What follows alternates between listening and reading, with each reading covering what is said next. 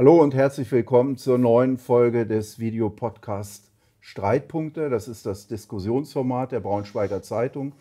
Heute begrüße ich ganz herzlich Herrn Bernd Osterloh. Herzlich willkommen, Herr Osterloh. Vielen wird er bekannt sein. er ist der ehemalige Chef des Volkswagen Betriebsrats, später Personalvorstand MAN, jetzt im Unruhestand und noch allerbestens äh, mit der Automobilthematik befasst. Mein Name ist Andreas Schweiger, ich verantworte die Wirtschaftsberichterstattung der Braunschweiger Zeitung. Und unser Thema heute, wie könnte es anders in diesen Zeiten sein, ist die Lage der Industrie, der Automobilindustrie in Deutschland als tragende Säule der deutschen Wirtschaft. Herr Osterloh, ein sehr ernstes Thema im Moment. Ähm, nicht nur VW kriselt schwer, auch BMW hat jetzt jüngst die Prognose nach unten angepasst, hat Probleme. Ist die deutsche Autoindustrie am Ende? Ja, erstmal, Herr Schweiger, schönen Dank für die Einladung. Ähm, ist die deutsche Automobilindustrie am Ende? Das würde ich so äh, aus meiner Sicht nicht sagen. Das Thema ist natürlich, man hat sehr stark, und das ist ja nicht nur BMW, auch Daimler hat sehr stark und natürlich auch Audi auf hochpreisige Fahrzeuge gesetzt. Ja. Und äh, hochpreisige Fahrzeuge lassen sich natürlich dann, ob das Verbrenner ist oder E oder Hybrid, äh, lassen sich dann natürlich gut verkaufen, wenn die Zinsen niedrig sind, mhm. weil äh, größtenteils sind die Fahrzeuge heute entweder kreditfinanziert oder geleast. Und äh, natürlich äh, bei hohen Leasingraten oder hohen Kreditzinsen sagt der Kunde natürlich, äh, gefällt uns nicht so, ist zu teuer, muss man ganz deutlich sagen. Und äh, das ist natürlich auch, das merken, wie gesagt, gerade die äh, Hersteller mit äh, großen Autos, äh, mit hochpreisigen Fahrzeugen. Mhm. Und das führt eben dazu, dass äh, der Absatz da zurückgegangen ist. Mhm. Äh, ich glaube, ich muss nicht sagen, dass, das lese ich ja jeden Tag in der Zeitung, Volkswagen zurzeit kein E-Auto unter 20.000 Euro äh, im, im, Angebot hat. Aber ich mhm. glaube, das äh, ist nicht die Krise der deutschen Automobilindustrie, weil ich fest davon ausgehe, dass so ein Auto äh, wie der äh, Volkswagen E, der mal unter 20.000 Euro kommen soll, ja. nicht in Deutschland gebaut wird. Ja. Äh, weil natürlich die Gesamtkosten können ja gleich nochmal über Energiepreise mhm. reden und so mhm. weiter und so weiter, glaube ich, äh, das nicht zulassen werden. Mhm. Aber so wie Sie das ausführen, da könnte man ja schlussfolgern, hat die EZB, die Euro Europäische Zentralbank mit ihrer Zinspolitik, äh, die, trägt die Hauptlast der deutschen Autokrise oder ist da einfach in den, in den Vorstandsetagen nicht richtig aufgepasst worden? Na, na, natürlich ging es jetzt erstmal darum, Sie haben mich gefragt, kriselt es? Ja. Und dann äh, sage ich erstmal, was natürlich der Absatz auch mhm. was mit Finanzierung oder Leasingraten zu tun hat. Äh, Gerade wie gesagt im Hochpreissegment und natürlich auch äh, mhm. in, in, der Dienstwagenflotte mhm. und so weiter und so weiter. Die Krise in der deutschen Automobilindustrie hängt sicherlich damit zusammen, dass der Markt rückläufig ist, äh, um ungefähr äh, ja, zwei Millionen Fahrzeuge. Jährlich. Jährlich, mhm. jährlich zwei Millionen Fahrzeuge und als äh, Folge von Corona noch oder nach Corona ist es nein, nie wieder das ist, so. Das ist eine, das mhm. ist eine Wettbewerbssituation. Ich glaube auch, dass ganz, die ganze Diskussion um das Thema Auto, äh, um das Thema Belastung der Umwelt, äh, glaube ich mhm. schon, hat dazu geführt, dass weniger Autos gekauft werden. Also ein Sinneswandel in der, in der Nicht, Käuferschaft. Ja, nee, das Fahrzeugalter ist auch wieder höher geworden. Mhm. Das kann man ja auch immer sehen. Ne? Wie, wie ist das Durchschnittsalter der mhm. Fahrzeuge? Mhm. Ich glaube, das ist natürlich auch wieder gestiegen. Äh, wie gesagt, Finanzier Finanzierung, äh, dann natürlich auch die Kostensituation insgesamt. Das ist alles mhm. teurer geworden. Das Thema Inflation. Und das führt natürlich dann auch zu einer Kaufzurückhaltung. Wir haben ja nicht weniger Menschen im europäischen Wirtschaftsraum, sondern äh, die Nachfrage ist geringer. Und da mhm. gibt es sicherlich viele Gründe, warum die Nachfrage äh, geringer ist. Da kann man nicht einfach so sagen, es liegt daran, daran oder mhm. daran. Mhm. Aber wie, wie, gesagt, wir haben auch eine Konkurrenzsituation. Äh, es kommen äh, andere Marken auf den europäischen Markt. Äh, zurzeit stehen die alle noch äh, in Bremerhaven im Hafen. Da kann man, wenn man das auf Google mal eingibt, Bremerhaven, dann sieht man im Endeffekt ein bisschen zoomen, dann kann man auch sehen, wie viele Autos da zurzeit stehen. Ist ja nicht so, dass die Chinesen jetzt alle schon auf dem Markt sind mit ihren Fahrzeugen in Deutschland oder genau, in Europa. Genau. Mhm. Aber sie sind auf jeden Fall da und bieten natürlich zu interessanten Preisen mhm. an. Und da müssen wir natürlich auch äh, als deutsche Automobilindustrie eine Antwort drauf haben. Ja. Ähm, ist denn der, der, die zentrale Antwort tatsächlich an der Preisschraube zu drehen? Günstigere Modelle anzubieten in Deutschland? Also wie gesagt, es ist sehr facettenreich. Ja. Es gibt immer Menschen, die sagen, ich brauche ein Auto unter 20.000 Euro. Mhm. Ne, äh, Gibt es ja auch relativ wenig Verbrenner übrigens. Ne? Mhm. Ich wundere mich dann immer, wenn da gesagt wird, ne, wir brauchen ein Auto unter 20.000 mhm. Euro. Wie viele Verbrenner gibt es denn heute noch unter mhm. 20.000 Euro? Und äh, wenn man sich mal die Rohstoffpreisentwicklung anguckt, äh, gerade beim E-Auto, ne, dann weiß man natürlich, und natürlich auch andere, äh, sag ich mal, Parameter und Einflüsse, mhm. dann sieht man natürlich, dass das eine relativ äh, anspruchsvolle Aufgabe ist, tatsächlich zu sagen, ich baue ein E-Auto unter 20.000 Euro. Ich persönlich glaube, in Deutschland wird das nicht möglich sein. Nein, das da muss ist man ja absehbar. Mittelosteuropa, ja Mittelosteuropa gucken, äh, ob es da dann äh, die Möglichkeit einer Produktionsstätte gibt. Ne? Oder äh, man guckt äh, in Richtung äh, Nordafrika oder meinetwegen auch China. Aber mhm. Äh, da ja gerade die Diskussion geführt wird, dass chinesische Produkte demnächst mit, Zöllen, mit Strafzöllen belegt mhm. werden sollen, dann ist natürlich die Frage auch, rentiert sich das. Aber wie gesagt, meine, meine Meinung, und ich rede nur von meiner Meinung, das mhm. wird relativ schwierig, glaube ich. Ja, das ist zumindest sehr anspruchsvoll. Ja. Dann, ja. Was wäre denn aus Ihrer Sicht das, das geeignete Mittel, um jetzt diese Krise zu überstehen? VW tritt äh, brutal auf die, auf die Sparbremse, ähm, setzt auf Kostenreduzierung. Die Folgen, die haben wir ja alle in den letzten zwei Wochen sehr anschaulich vor Augen geführt bekommen. Die Beschäftigungssicherung ist gefallen. Werkschließungen, ähm, betriebsbedingte Kündigungen sind in der Diskussion. Ähm, ist das das Mittel oder äh, braucht es auch da ein breiteres Instrumentarium? Also ich blicke jetzt auch mal auf die Politik. Angekündigt ist jetzt zum Beispiel schon Dienstwagen, wieder Elektrodienstfahrzeuge zu fördern. Ähm, was, was wäre aus Ihrer Sicht der richtige Weg? Also was mich persönlich wundert, äh, ich habe das ja ich verfolge ja viel, äh, sage ich mal, die veröffentlichte Meinung. Ich gucke mhm. viel in Chats. Und dann wird ja mal gestanden, warum will man jetzt äh, der Automobilindustrie sozusagen noch den Hintern vergolden, indem man eine E-Mobilitätsprämie mhm. zahlt. Mhm. Das Oberverwaltungsgericht in Berlin-Brandenburg hat entschieden und der VCD hat ja da gegen die Bundesregierung geklagt. Äh, und die Bundesregierung hat übrigens den Prozess verloren, dass eine der Maßnahmen zum ich glaube, Klimareinhaltungsgesetz heißt das ganz genau, weiß ich jetzt nicht, aber ich glaube, so, so in dieser. Richtung mhm. ist der Titel, dass ein Bestandteil dieser, dieses Gesetzes war, um im Endeffekt die Grenzen einzuhalten, eine Förderung von E-Fahrzeugen. Mhm.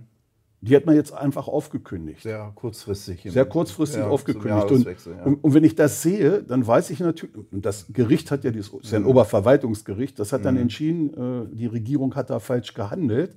Und das ist für mich unter anderem ein Kaufanreiz, und das fordert ja auch die IG Metalle und der Betriebsrat bei Volkswagen, mhm. ist unter anderem ein Kaufanreiz, um wieder verstärkt E-Fahrzeuge zu kaufen. Der Deckungsbeitrag, ich sage das nochmal, der Deckungsbeitrag, also das, was am, tatsächlich am Produkt überbleibt, ist bei, beim E-Auto geringer als bei den Produkten, deutlich die wir, geringer, glaube ich auch. Deutlich mhm. geringer als mhm. bei den Produkten, die wir hier in Deutschland mhm. produzieren mhm. oder meinetwegen auch im Ausland produzieren und dann äh, vermarkten mhm. oder verkaufen. Das muss man ganz deutlich sagen. Und mhm. wenn ich dann immer sehe, wir brauchen natürlich Geld, um die Investitionen, neue Batterietechnologie, neue Produkte, größere Reichweite, meinetwegen auch das ganze Thema Feststoffzelle, um das im Endeffekt dann auch finanzieren zu können, brauchen wir natürlich auch Geld, dass mit den Autos verdienen. Das ja. ist nicht ganz einfach. Mhm. Genau, aber da ist ja, kann ja die Förderung nur ein Baustein sein. Ja, habe ich gesagt, ist ein mhm. Baustein, aber für mhm. mich natürlich ein ganz wichtiger, weil man kann natürlich mhm. sehen, nachdem die Förderung weggefallen ist, äh, dass es einen ganz klaren äh, Kaufrückgang gab. Und äh, Gut, wenn ich das natürlich mit den Zahlen vergleiche, wo mhm. äh, im letzten Jahr noch sehr mhm. viel Fahrzeuge, E-Fahrzeuge verkauft sind, mhm. ist natürlich auch erklärlich, warum jetzt, zumindest aus meiner Sicht, äh, der Absatz nicht mehr ganz so stark ist. Ein weiterer Baustein ist ja vom, vom Unternehmen, wir blicken jetzt mal auf Volkswagen, eingeleitet worden. Gäbe es dazu eine Alternative aus Ihrer Sicht? Damit meine ich jetzt das äh, beschriebene Szenario, Aufkündigung der Beschäftigungssicherung, massive Kosteneinsparungen ja gut, ich bin nicht mehr bei Volkswagen tätig. Ist klar. Äh, Herr Schweiger, das wissen Sie. Äh, ich kann das nur aus der Vergangenheit her äh, mir angucken und ich glaube, eine, eins der Probleme, die wir haben, dass wir keine Hybride angeboten haben mit großer Reichweite. Das hat Daniela Cavallo ja auch schon angesprochen. Ja, das die ist Betriebsratsvorsitzende, wer es nicht weiß. Ja, ja, genau. Mhm. Daniela Cavallo, die Konzernbetriebsratsvorsitzende von Volkswagen, das hat sie auch angesprochen. Und ist doch klar, wenn du ein E-Auto hast mit 50 Kilometern, äh, äh, Entschuldigung, ein Hybrid mit 50 oder 70 mhm. Kilometer Reichweite mhm. und hast jetzt auf einmal einen mit 135 im Passat mhm. und im Golf, mhm. dann sind das natürlich Werte, wo ich sage, ja, da kann ich ja fast eine ganze Woche in Häkchen, wenn ich nur in der Stadt unterwegs mhm. bin, mit, mit, mit fahren. Mhm. Und ich, irgendwie ist es, sage ich mal, den, der Regierung, den Unternehmen, den Organisationen nicht gelungen, den Menschen klarzumachen, dass ein E-Auto eigentlich äh, bei dem, was wir das, für was wir das brauchen, und da gibt es ja Statistiken, 90 Prozent der Leute fahren nicht mehr als äh, zwischen 30 und 50 Kilometer am Tag. Dafür wäre ein mhm. E-Auto ohne weiteres mhm. reichen. Das ist nicht rübergekommen. Ne? Mhm. Punkt eins. Punkt zwei ist, nicht alle Menschen, das sage ich nochmal, und das ist für mich so ein Argument, leben in Berlin oder in Hamburg oder in München. Mhm. Ne? Und gerade wenn ich übrigens in Berlin lebe, äh, da kenne ich auch so die eine oder andere Straße, da steht dann übrigens gar keine Ladesäule. Da findest du nicht mal einen Parkplatz für dein Auto. Mhm. Also dieses ganze Thema E-Mobilität und äh, da kann, ich habe heute Morgen gerade wieder bei LinkedIn eine Menge Kommentare gelesen, auch zu dem ganzen Thema E-Fahrzeuge. Äh, da muss man ganz deutlich sagen, es ist einfach nicht gelungen, rüberzubekommen, dass der normal, der normale, die normale Anwendung eigentlich mit dem E-Fahrzeug komplett ausreichend ist. Ja. Um den Menschen dann die Angst zu nehmen, hätte ich eine Hybride mit größerer Reichweite machen mhm. müssen. Das habe ich nicht mhm. gemacht. Und das ist natürlich das große Problem. Kommen mhm. jetzt, ja, äh, unsere, und das heißt unsere, die neuen Autos von mhm. Volkswagen kommen auch mit einem neuen Design, was ich persönlich äh, sehr gut finde. Mhm. Äh, und Volkswagen hat natürlich auch äh, zumindest bis im Jahr 2015 sehr stark äh, für eine gute Qualität gestanden, wo man immer mit einem höheren Preis erzielt hat. Äh, auch dieses Thema, muss mhm. ich sagen, da kümmert sich der heutige Vorstand sehr intensiv drum. Äh, die Fahrzeuge werden besser und ich finde, dieses Thema 50 Jahre Golf ist für mich ein gutes Beispiel, wo man sagen kann, okay, da geht es in die richtige Richtung. Mhm ein gutes Produkt mit einer guten Qualität auch wieder, mhm. sag ich mal, dann an die Mann mhm. und an die Frau zu bringen, äh, um zu sagen, okay, kauft euch ein, ein mhm. Volkswagen-Produkt. Der, der Produktanlauf Golf 8 und auch der parallel laufende äh, Produktanlauf ID3 seinerzeit, die sind ja beide in die Hose gegangen. Es gab massive Softwareprobleme, Qualitätsprobleme. Wirkt das noch nach? Ist das ein Bestandteil der, dieser, dieser Großwetterlage jetzt? Das glaube ich, das glaube ich, nein. Also das, das ist behoben, das war natürlich, aber das hat das ist behoben, das, aber, ja, das ist behoben, aber es war natürlich ein Image-Schaden. Also ja, es war, für, es war für einen Golf ja. ein Image-Schaden und deswegen finde ich es natürlich auch gut, wie man es jetzt gerade macht. Mhm. Ne, also wirklich dieses, dieses Thema wieder, wieder aufzuwerten. Ich fahre auch gerade einen Golf, mhm. leider ein Produkt, was es demnächst nicht mehr geben wird oder mhm. nicht mehr gibt, ein GTD. Äh, wo ich gesagt habe, wenn schon Diesel, dann auch ordentlich motorisiert.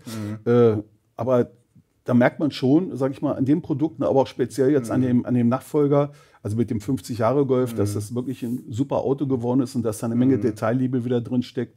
Und äh, ich glaube, das ist ganz gut. 2019, glaube ich, war das Golf 8 Anlauf und auch ID 3 Anlauf.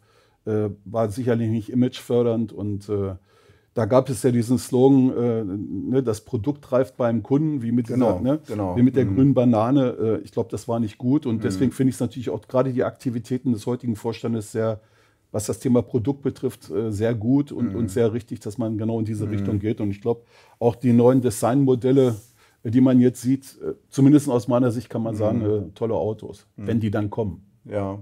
Wie, wie, wie ernst ist denn die Situation bei Volkswagen aus Ihrer Sicht tatsächlich? Also die nochmal die Ankündigungen, die sind ja sehr drastisch.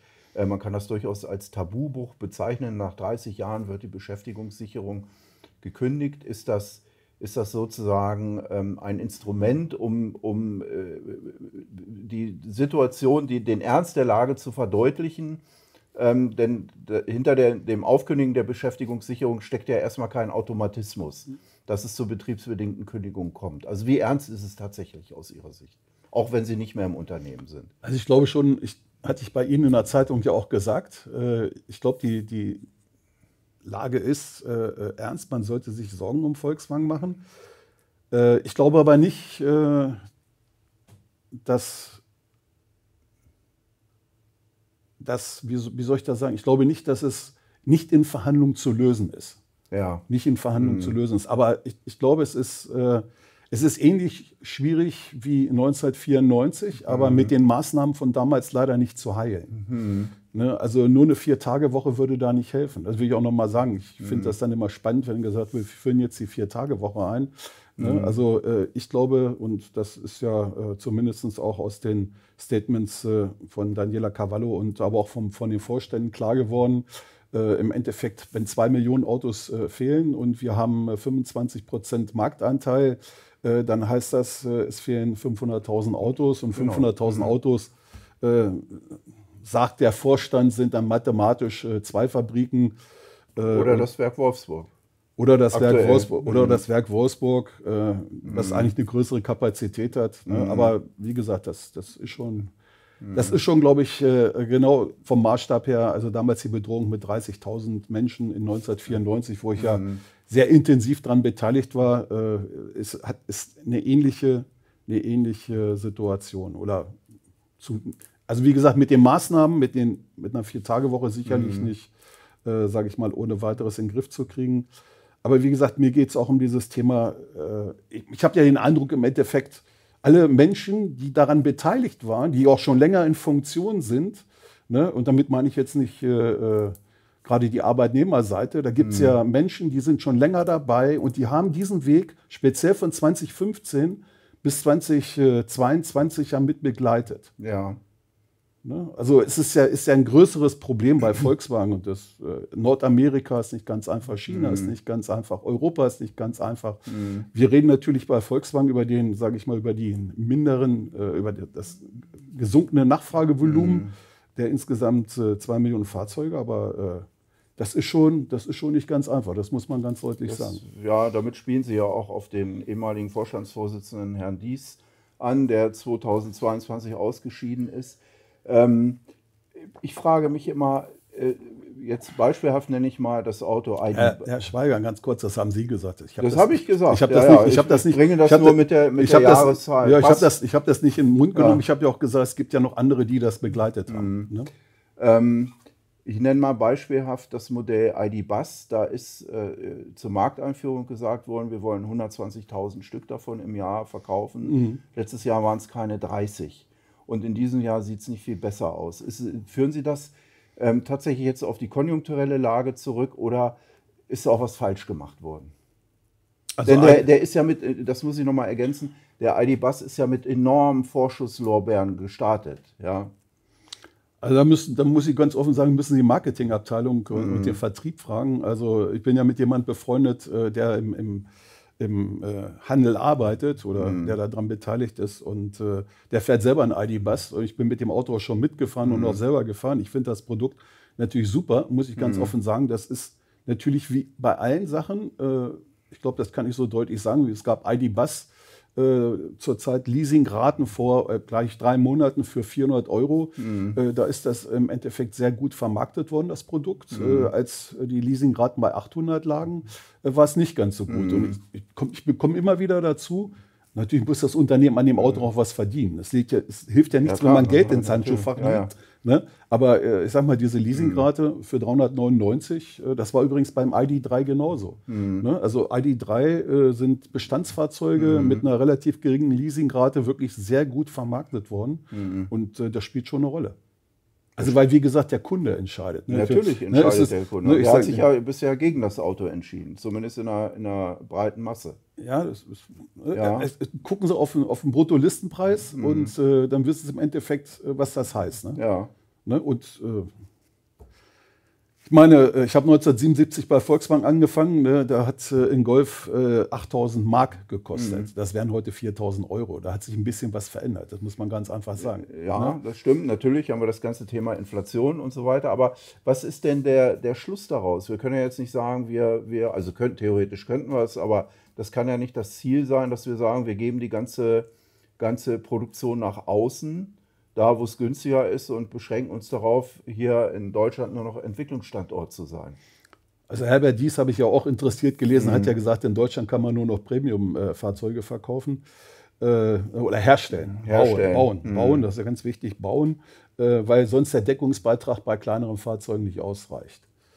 Ich glaube, wir müssen schon äh, gucken und äh, das fand ich, hat Luca de Meo von Renault relativ gut gesagt wie ist eigentlich die Zusammenarbeit in der europäischen Automobilindustrie? Mhm. Und da geht es nicht darum, ne, wenn ich das wenn man das irgendwo sagt, dann willst du jetzt aus dem Volkswagen einen Renault machen. Nein, mhm. darum geht es gar nicht. Aber mhm. Komponenten, wenn man weiß, es gibt einen Umstieg von Verbrennern in Richtung E-Mobilität. Mhm. Was könnte man zum Beispiel zusammen machen? An Verbrennungsmotoren und so weiter. Ist in Japan mhm. übrigens passiert. Ne, nur, mhm. Ne, also wo Toyota mhm. mit Nissan und anderen sich gesagt hat, okay, mhm. wir entwickeln den Verbrennungsmotor weiter, mhm. aber nicht jedes Unternehmen für sich, mhm. sondern wir gucken mal, wie wir da eine Zusammenarbeit gestalten können. Warum können wir das mit Stellantis, Volkswagen, da meine ich jetzt nicht Audi, sondern ich meine wirklich die Volkswagen-Gruppe Skoda, Seat, äh, mit Renault und Stellantis zu sagen, okay, was gibt es für Komponenten, äh, die man zum Beispiel das kostet ja alles Geld. Ne? Und ja, das andere ist natürlich die Kapazität. Die, mhm. die, die, die Entwicklungskapazität ist ja teilweise auch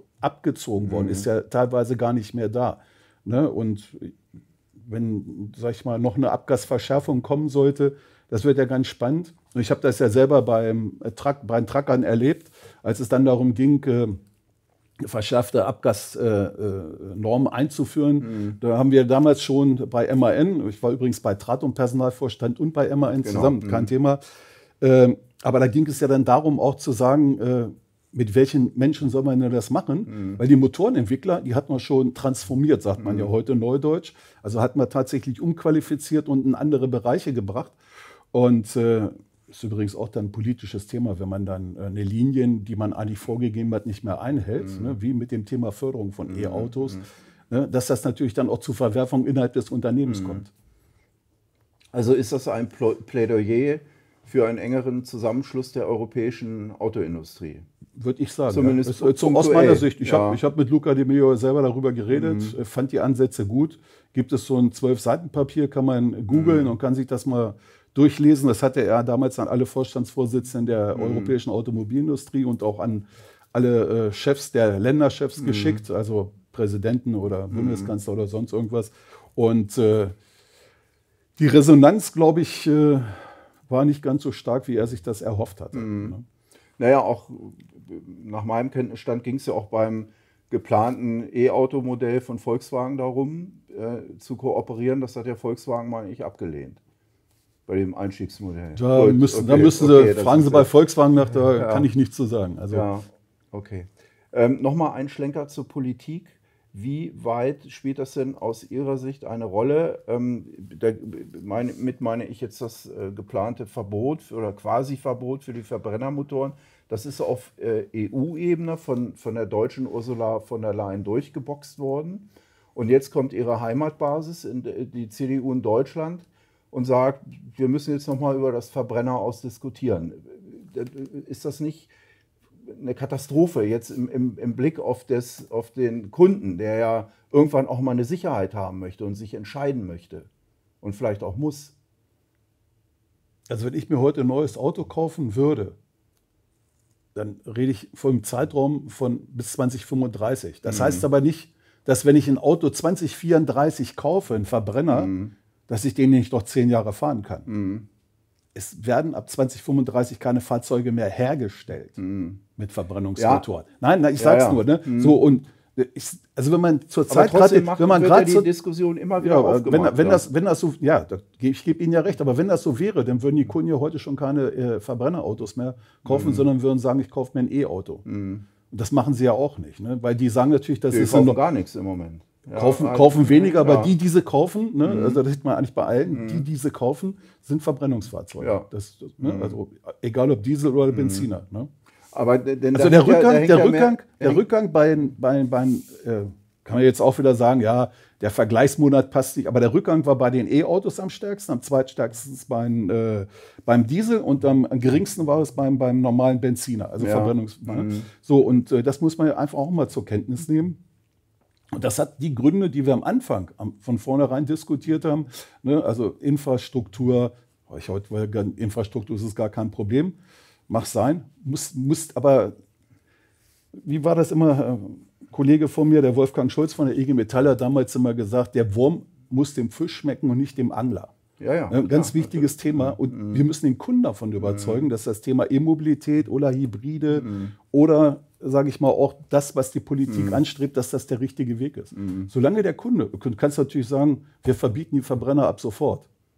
Ne? Also bei Volkswagen darf ab morgen oder überhaupt in der deutschen Automobilindustrie oder in Europa mhm. darf ab morgen kein Auto mehr vom Band laufen mit Verbrennungsmotor. Ja, Wird ja nicht passieren. Ja, es geht ja nicht, nicht darum, das sofort zu verbieten, aber diese immer wieder aufkeimende Diskussion, die, die, die schürt doch auch eine Unsicherheit und ich behaupte mal, das hat ja nicht nur, nur Folgen für den Kunden, sondern es hat vielleicht Folgen für diejenigen, ja klar, für die Automobilindustrie. Die, die, die, für die Industrie, aber auch für diejenigen, die in die Infrastruktur investieren. Ja. Und da gibt es ja noch genug zu tun. Ähm, Ladeinfrastruktur. Und wenn dann aber ständig gesagt wird, naja, vielleicht, vielleicht schieben wir das doch nochmal raus oder wir müssen das Thema nochmal neu anfassen, würde ich mich ja als Investor dann auch mal an einem, ab einem gewissen Punkt würde ich mir sagen, nun warte erstmal ab, und darunter leidet ja dann wieder das gesamte Thema E-Mobilität, weil dann weniger Ladesäulen und so weiter gebaut werden, Ladepunkte. Gebe ich, ja. gebe ich, gebe ich Ihnen ja recht, deswegen mhm. sage ich ja, wir reden ja über einen Zeitraum von neun Jahren. Ne? Mhm. Und die, die Diskussion jetzt zu führen, halte ich für absolut Blödsinn. Mhm. Ne? Also, weil, wie gesagt, ich könnte ja 2034 noch ein Verbrennungsauto zulassen. Mhm. Ne? Aber ich glaube, das ist teilweise gar nicht in den Köpfen drin. Manchmal glaube ich auch, tut mir leid, ist das reiner Populismus, um, äh, um Wahlergebnisse zu beeinflussen oder sonst irgendwas mhm. zu machen. Also Mhm. Für mich hat das nicht Hand und Fuß. 2035 ist in neun mhm. Jahren und dann äh, beginnt das Verbrennerverbot und das heißt, mhm. dann dürfen keine mehr hergestellt werden. Und das ganze Thema äh, über alternative Kraftstoffe mhm. nachzudenken, die brauchen wir sowieso, äh, glaube ich, wenn wir nach 2035 ja noch einen Millionen, zweistelligen Millionenbestand an Verbrennungsfahrzeugen haben. Ja, die laufen ja auch noch. Ja, wollte ich gerade sagen. Ja. Ne, also, mhm. wenn ich mal, also ich finde das eine wenn Sie es gestatten, sozusagen, ich finde es eine Kindergartendiskussion, die ja größtenteils in der Politik darauf gemacht wird. Mhm. Und das ist ja, ist ja auch unabhängig von der Partei. Das, das, ähm, nee, das geht, das ja, geht, geht quer, durch. Quer, geht das quer geht durch. quer durch. Ne? Genau. Also Herr Söder muss sich dann immer überlegen, was er letzte Woche noch gesagt hat, äh, damit er das, äh, sage ich mal, dann in seine neue Diskussion oder zumindest in seine neuen Gedankenwelt dann wieder mit einbezieht. Ne? Mhm. Ähm, Herr Osterloh, nächste Woche beginnen die, die Tarifverhandlungen bei Volkswagen. Ist um einen Monat vorgezogen. War der richtige Schritt, oder?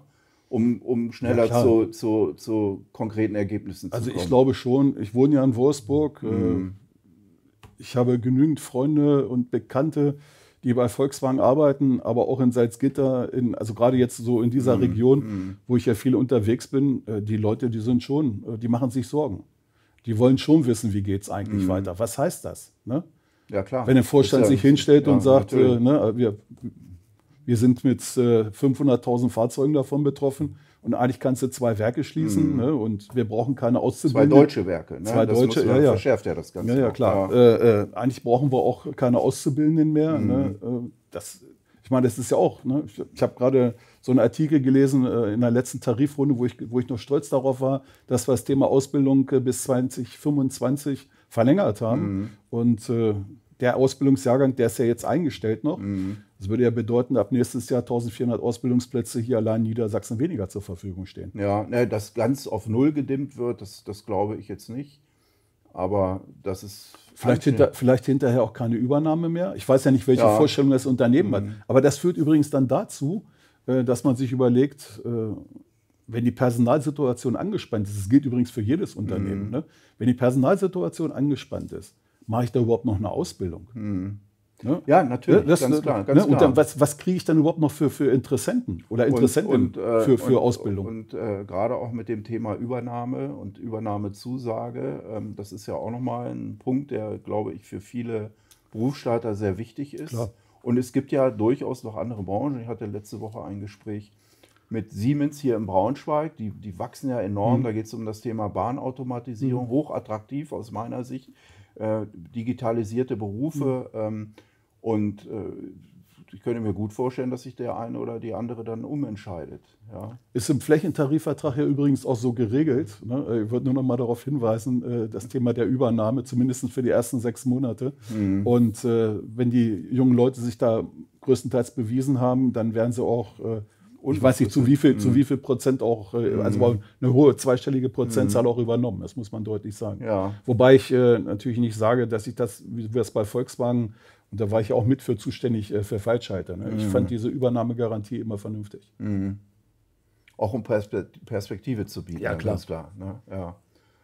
Ähm, jetzt nochmal Ende nächster Woche beginnt die, die Tarifverhandlung äh, am 25. Ähm,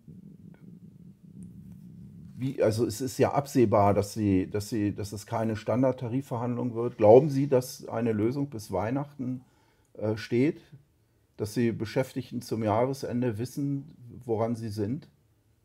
Das müssen die Parteien klären, die da verhandeln. Das äh, kann ich Ihnen nicht sagen. Da bin ich, äh, ich weiß nicht, was der Vorstand tatsächlich vorhat und ich äh, glaube auch, äh, äh, dass die Arbeitnehmerseite eine eigene Strategie hat und da muss man mal abwarten, was da passiert. Ja, also es bleibt damit ähm, auch aus Ihrer Sicht unruhig, unsicher für die Beschäftigten erstmal. Es wird also keine ganz schnellen Antworten geben und es wird also das würde mich, würde mich wundern. Ich glaube, ja. dass, glaub, dass, die, dass, die, dass die Entfernung zwischen den beiden Parteien etwas größer ist. Ja, allerdings. Also ich, ja. wie gesagt, ich war 94 selber dabei äh, mhm. bei den Verhandlungen, damals noch als Vertrauenskörperleiter. Und äh, dass das Ergebnis damals so zustande gekommen ist, äh, das hat ja auch mehrere äh, Wochen gedauert. Ne? Mhm. Ich habe heute gerade so ein altes Flugblatt von, äh, von 93 gepostet. Äh, und allein die Arbeitszeitumsetzung mhm. ne, am Standort Wolfsburg, da war ich damals in der Arbeitszeitkommission, mhm. hat ja, glaube ich, mhm. vier oder fünf Monate gedauert, mhm. weil der ganze Standort dann auf die neuen Regelungen zugeschnitten werden ja. musste. Das ne? ist dann die Umsetzung. Aber erstmal geht es ja darum, jetzt ein Ergebnis zu ein haben. Ergebnis zu haben, ja. Also wie gesagt, da bin ich äh, zu weit weg. Da müssen wir mit Herrn Gröger, müssen Herrn Gröger mal anladen oder Frau Cavallo, weil äh, aber wie gesagt, die, die haben eine Position, das Unternehmen hat eine Position. Mhm. Ich glaube schon, man wird sich da einigen. Es ist nur die Frage, wie äh, und auf welchem Niveau. Ja. Äh, weil, wie gesagt, ich bleibe dabei und das ist die Kernaussage, die ich äh, in den letzten Wochen immer gemacht habe. Ich weiß, dass das nicht jeder gut findet, dass ich mich dann auch nochmal zu Wort melde. Aber ich glaube schon, die Situation ist ernst und das habe ich im letzten Jahr schon gesagt. Mhm. Äh, ja, klar. Bei Ihnen, ihr in der Zeitung. Mhm. Und äh, Jetzt sind wir an dem Punkt, an dem wir sind. Und da kann ich einfach nur äh, sagen, dass an beide Parteien natürlich auch, dass das, äh, sage ich mal, im Interesse der Beschäftigten und des Unternehmens natürlich auch äh, geregelt werden muss. Mhm. Das ist ja klar. Also weil, ohne, weil ohne Unternehmen gibt es auch keine Beschäftigung. Ja, so, ne? also, klar. Mhm. Und äh, so, so, so, ein geflügelter Satz von mir, äh, eine Kuh kannst du nur melken, wenn sie Milch gibt. Mhm. Ne?